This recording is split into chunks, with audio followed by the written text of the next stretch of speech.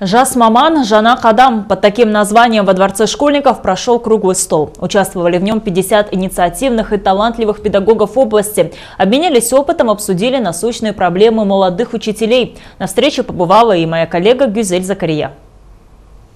Начали заплыв учебы. Так. Дальше. Отдыхаем. Сначала разминка для разрядки атмосферы и настроен на дружелюбный лад. Обменяться опытом, завести близких по духу друзей, сплотиться в единый механизм. Молодые учителя присутствуют здесь именно для этого. Карина Хайрушева предполагает, что тренинг – толчок к саморазвитию. Второй год она преподает историю. Среди участников, возможно, узнают новые методики обучения.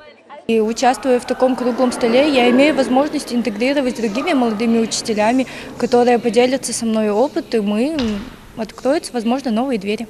Новые идеи, открытый диалог. За этим приехал преподаватель истории из Акшарского района. Куандык Жолтаюлы участвует в подобных мероприятиях не первый раз. А все для того, чтобы его ученики получали знания в более понятной для них форме.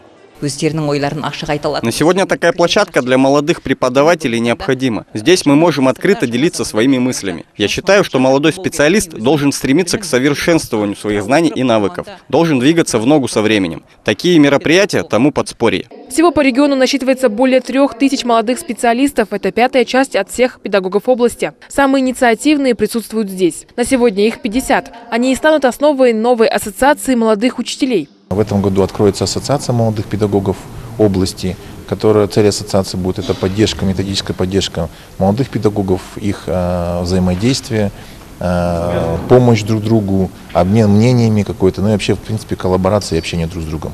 Для чего это нужно? Это нужно в целях эффективной э, самореализации каждого педагога.